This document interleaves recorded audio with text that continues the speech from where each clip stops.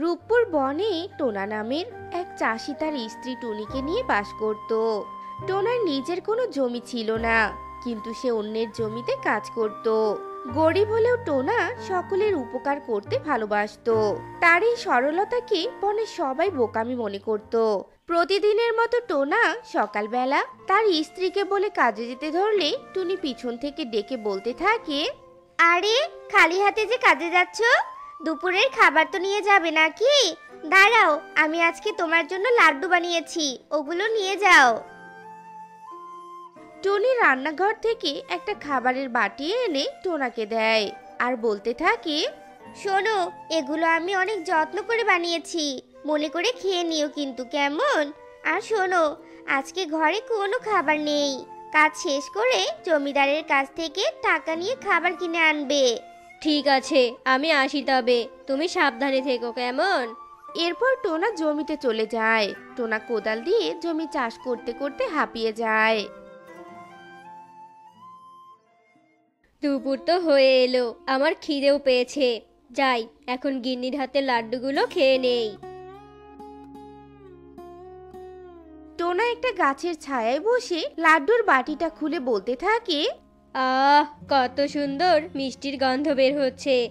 সত্যি আমার গিন্নির হাতে রান্না অনেক সুন্দর। এমন সময় ওখানে কবুতর আসে। কবুতর লাড্ডুর গন্ধ পেয়ে টোনাকে বলতে থাকে কি রে এই ভর দুপুরবেলা লাড্ডুর গন্ধ পাচ্ছি? তুই কি লাড্ডু খাচ্ছিস নাকি? হ্যাঁ রে তোর বৌদি বানিয়েছে। খাবি নাকি? আয় আয়। টোনার কথা শুনে কবুতর লাড্ডু খেতে শুরু করে। কবুতর টোনাকে না দিয়ে সবটা খেয়ে ফেলে। সবশেষে কবুতর বলতে থাকে এই যা আমি তো সবটা খেয়ে ফেললাম রে তুই তো একটাও খাসনি। কোনো সমস্যা নেই রে আমি না হয় জল খেয়ে পেট ভরিয়ে নিব। আর তোর বৌদিকে বললে আমাকে আবারও লাড্ডু বানিয়ে দিবে। বোকা কোথাকার সব খাবার খেলাম অথচ কিছুই বলল না। আচ্ছা আমার কাজ আছে রে আমি বরং যাই। টোনা আবারও জমিতে যায় আর কাজ করতে থাকে। কবুতর হাসতে হাসতে ওখান থেকে চলে যায়। এইভাবে টোনার দিন চলতে থাকে। একদিন সকালবেলা টোনা টুনিকে বলতে থাকে গিন্নি আজকে আকাশটা খুবই কালো হয়েছে। মনে হয় বৃষ্টি নামবে। ছাতাটা দাও তো আমায় কাজে যেতে যে দেরি হচ্ছে। শোনো টোনা আজকে কাজে যাওয়ার দরকার নেই। বৃষ্টি বাদলের দিন। একটু বাড়িতে রেস্ট নাও। টুনি রেস্ট নিলে যে পেট চলবে না। প্রতিদিন কাজ করে দুবেলা ঠিক মতো খেতে পারি না। আবার তুমি বলো বাড়িতে বসে থাকতে? দাও দাও তাড়াতাড়ি ছাতাটা দাও। টুনি আর কোনো কথা না বলে টোনাকে ছাতা দেয়। টোনা ছাতা নিয়ে কাজে চলে যায়। কাজ শেষ করে বিকেলের দিকে বাড়ি ফেরার পথে একা একা টোনা বলতে থাকে মনে হয় আকাশটা এমনিতেই কালো করেছে বৃষ্টি আসবে না। বড্ড খিদেও পেয়েছে। যাই তাড়াতাড়ি পা চালাই। এরপর টোনা বন্ধ ছাতা হাতে নিয়ে চলতে থাকে। বেশ খানিকটা পথ যেতেই আকাশ থেকে অঝোর ধারা বৃষ্টি নামতে শুরু করে। এরপর টোনা সাথে সাথেই তার হাতে ছাতাটা খুলে মাথায় ধরে। বাবা বলতে না বলতেই বৃষ্টি শুরু হলো। মনে হচ্ছে আকাশটা আমার কথা শুনে ফেলেছে। এরপর টোনা বৃষ্টিতে চলতে থাকে। এমন সময় রাস্তায় টোনা কারও কান্নার আওয়াজ শুনতে পায়। মনে হচ্ছে কেউ কান্না করছে কিন্তু এই বৃষ্টির দিনে এখানে কে কান্না করছে? কোথাও ঘর বাড়ি নেই তো নেই তো এখানে কেউ। এরপর টোনা এদিক ওদিক তাকাতে থাকে। এমন সময় টোনার চোখে পড়ে কুয়োর পাড়ে কলসাতে দাঁড়ানো শালিকের দিকে। টোনা শালিকের কাছে যায় আর বলতে থাকে একই শালিক বোন, তুমি এই বৃষ্টিতে এখানে দাঁড়িয়ে কাঁদছো কেন? বাড়িতে চলে যাও। বৃষ্টিতে ভিজে কি আর বাড়িতে যাব বলো?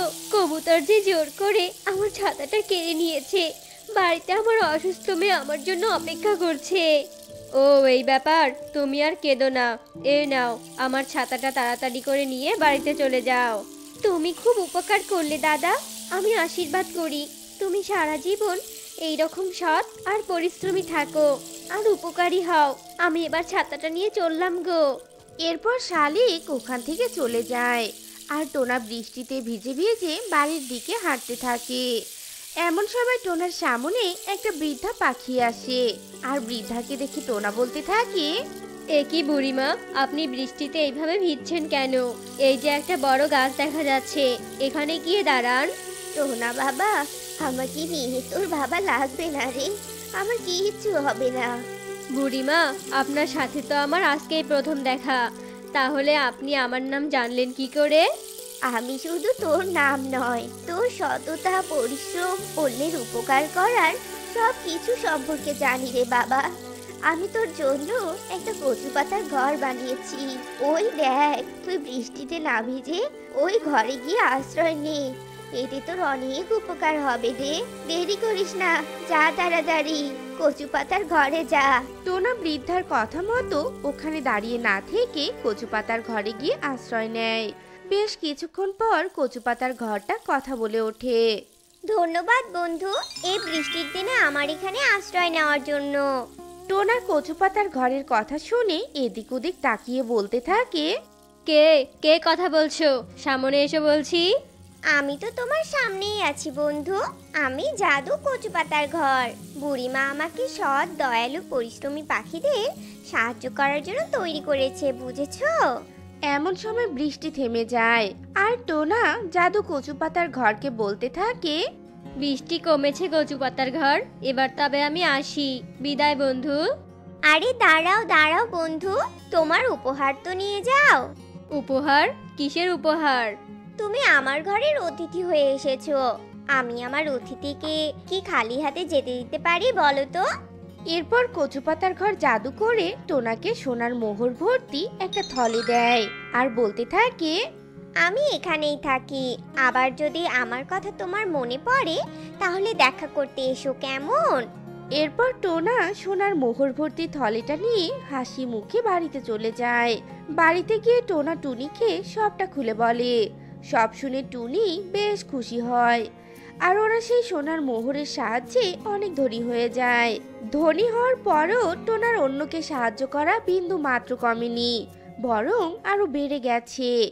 টোনার এমন উন্নতি দেখে বনের জমিদার যজ্ঞ কাকের বেশ হিংসে হতে থাকে। টোনা কি করে আমার থেকে ধনী হলো? ও তো সামান্য একটা চাষি ছিল। কোথাও আবার গুপ্তধন টন পাইনি তো? না না টোনার কাছ থেকে সবটা ভুলিয়ে ভালিয়ে জানতেই হবে। এরপর যজ্ঞ কাক টোনার সাথে দেখা করার উদ্দেশ্যে বেরিয়ে পড়ে। পথে যজ্ঞর টোনার সাথে দেখা হয়ে যায়। যজ্ঞ টোনাকে দেখে বলতে থাকে কি ব্যাপার রে টোনা? তোকে তো এখন দেখাই যায় না। তা টোনা ভাই তুই এমন তাড়াতাড়ি ধনী হলি কি করে রে? আমাকে একটু হিসাবটা বুঝিয়ে দিবি? যজ্ঞর কথা শুনে সহজ সরল টোনা কচু পাতার ঘরের কথা খুলে বলে সব শুনে যজ্ঞ কাকের খুবই লোভ হয়। যজ্ঞ কাক টোনার কাছ থেকে বিদায় নিয়ে সরাসরি ওই কচু পাতার ঘরে যায়। আর কচু পাতার ঘরকে বলতে থাকে, এই কচু পাতার ঘর, আমি তোর সব রহস্যের কথা জানতে পেরেছি। তাই বেশি দেরি না করে আমাকেও থলে ভর্তি মোহর দে তাড়াতাড়ি। তোমার কথা শুনে আমি বুঝতে পারছি যে তুমি অনেক লোভী। আমি কোনো লোভীকে সাহায্য করি না। চলে যাও এখান থেকে, নয়তো আমি তোমাকে কঠোর শাস্তি দিব। সামান্য কচু পাতার ঘর হয়ে তুই আমাকে শাস্তি দেওয়ার ভয় দেখাচ্ছিস? দাঁড়া, আমি এক্ষুনি তোকে ভেঙে ফেলব। এরপর যজ্ঞ যেই না কচু পাতার ঘরে হাত দেবে, অমনি কচু পাতার ঘর থেকে একটা বিষাক্ত সাপ বেরিয়ে যজ্ঞ কাককে ছোবল মারে। আর লোভী যজ্ঞ কাক সাথে সাথেই ওখানে মারা যায়। আর অন্যদিকে টোনাটুনি অনেক সুখে শান্তিতে দিন কাটাতে থাকে।